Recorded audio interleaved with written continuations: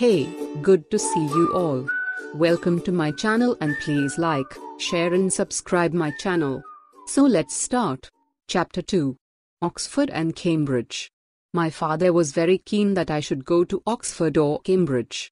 He himself had gone to University College, Oxford, so he thought I should apply there, because I would have a greater chance of getting in. At that time, University College had no fellow in mathematics, which was another reason he wanted me to do chemistry. I could try for a scholarship in natural science rather than in mathematics. The rest of the family went to India for a year, but I had to stay behind to do A levels and university entrance. My headmaster thought I was much too young to try for Oxford, but I went up in March 1959 to do the scholarship exam with two boys from the year above me at school. I was convinced I had done badly and was very depressed when during the practical exam university lecturers came around to talk to other people but not to me. Then, a few days after I got back from Oxford, I got a telegram to say I had a scholarship. I was 17, and most of the other students in my year had done military service and were a lot older. I felt rather lonely during my first year and part of the second. It was only in my third year that I really felt happy there. The prevailing attitude at Oxford at that time was very anti work. You were supposed to be brilliant without effort, or to accept your limitations and get a fourth class degree. To work hard to get a better class of degree was regarded as the mark of a grey man, the worst epithet in the Oxford vocabulary. At that time, the physics course at Oxford was arranged in a way that made it particularly easy to avoid work.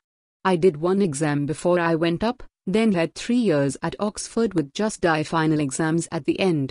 I once calculated that I did about a thousand hours work in the three years I was there, an average of an hour a day. I'm not proud of this lack of work. I'm just describing my attitude at the time, which I shared with most of my fellow students, an attitude of complete boredom and feeling that nothing was worth making an effort for.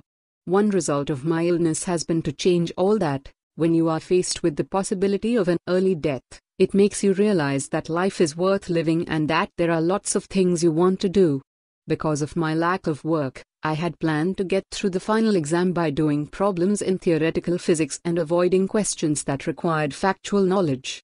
I didn't sleep the night before the exam because of nervous tension, however, so I didn't do very well.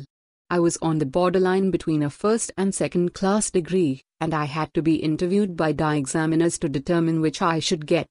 In the interview, they asked me about my future plans. I replied that I wanted to do research.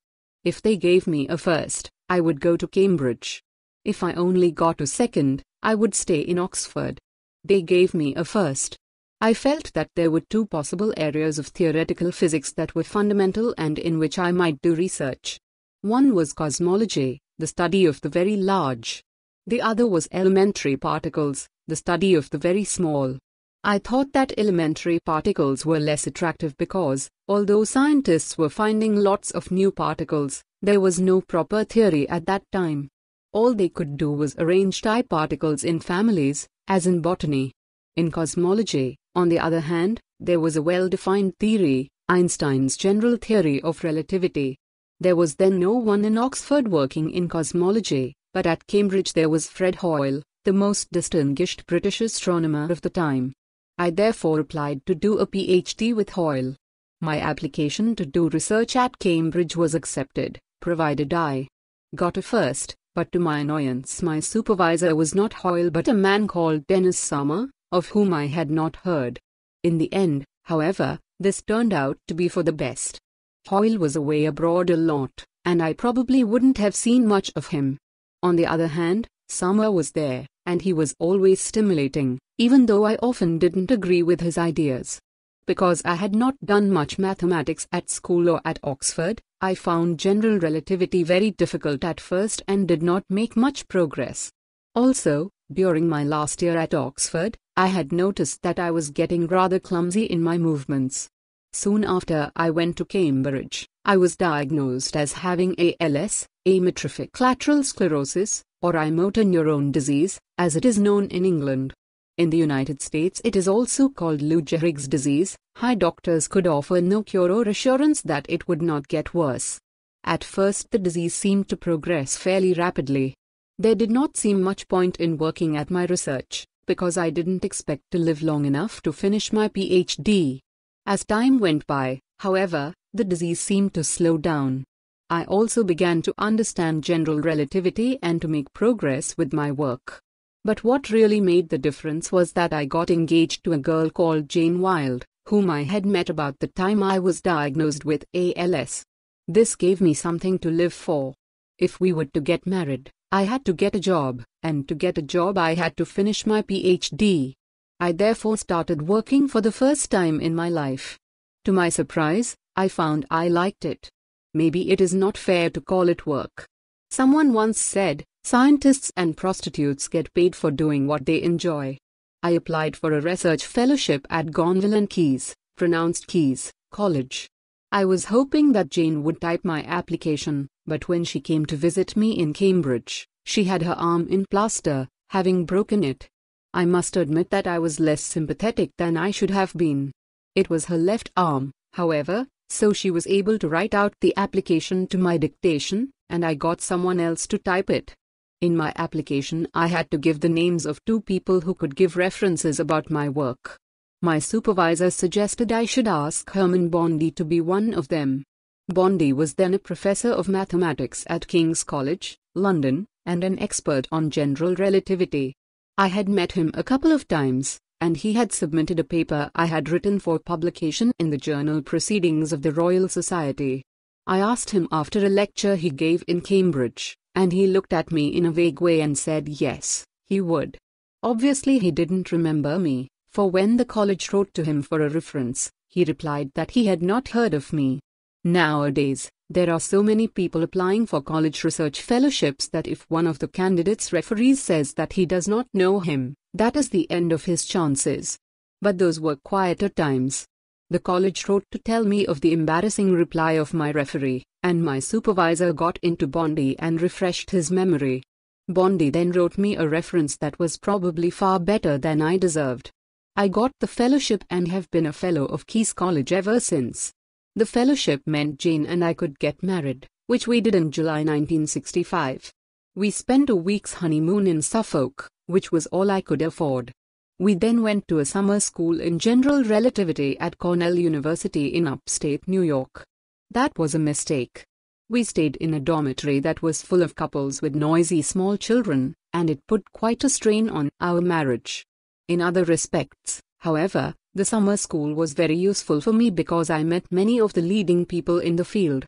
My research up to 1970 was in cosmology, the study of the universe on a large scale. My most important work in this period was on singularities. Observations of distant galaxies indicate that they are moving away from us, the universe is expanding. This implies that the galaxies must have been closer together in the past. The question then arises was there a time in the past when all the galaxies were on top of each other and the density of the universe was infinite? Or was there a previous contracting phase, in which the galaxies managed to avoid hitting each other? Maybe they flew past each other and started to move away from each other. To answer this question required new mathematical techniques. These were developed between 1965 and 1970, mainly by Roger Penrose and myself. Penrose was then at Birkbeck College, London, now he is at Oxford. We used these techniques to show that there must have been a state of infinite density in the past, if the general theory of relativity is correct. This state of infinite density is called the Big Bang singularity. It means that science would not be able to predict how the universe would begin, if general relativity is correct.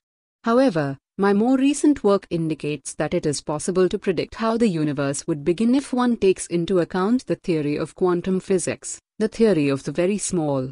General relativity also predicts that massive stars will collapse in on themselves when they have exhausted their nuclear fuel.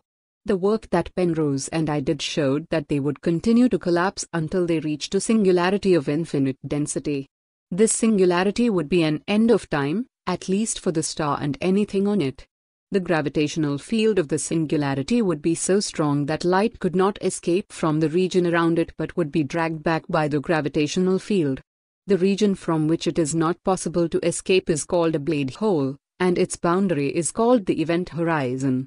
Anything or anyone who falls into the black hole through the event horizon will come to an end of time at the singularity. I was thinking about black holes as I got into bed one night in 1970, shortly after the birth of my daughter Lucy.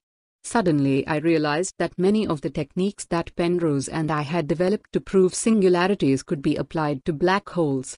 In particular, the area of the event horizon, the boundary of the black hole, could not decrease with time.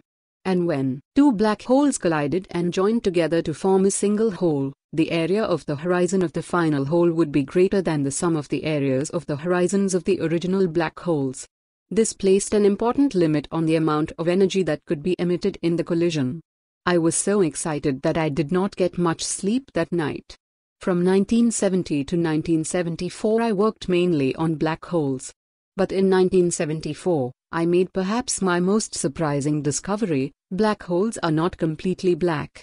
When one takes the small-scale behavior of matter into account, particles and radiation can leak out of a black hole. A black hole emits radiation as if it were a hot body. Since 1974,1 have been working on combining general relativity and quantum mechanics into a consistent theory. One result of that has been a proposal I made in 1983 with Jim Hartle of the University of California at Santa Barbara, that both time and space are finite in extent, but they don't have any boundary or edge. They would be like the surface of the Earth, but with two more dimensions.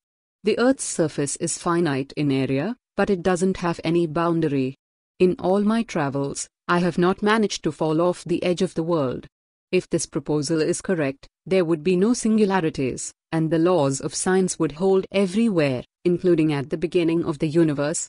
The way the universe began would be determined by the laws of science.